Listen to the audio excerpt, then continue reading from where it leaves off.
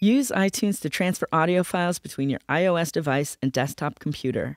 It's the best option if your recorded file is too big to email or upload. Connect your iOS device to your computer and open iTunes. Select your iOS device icon and then select Apps from the Settings column. Scroll down to the File Sharing section to find MOTIV. Your recordings will appear in the Documents window. Highlight the recordings you'd like to save. Choose Save To to download the recordings from the MOTIV app to your computer. Add File allows you to upload audio from your computer to the MOTIV app.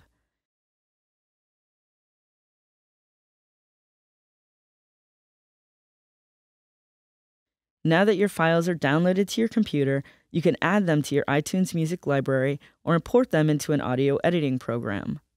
For more info about the full line of MOTIV products, head to shure.com/motiv.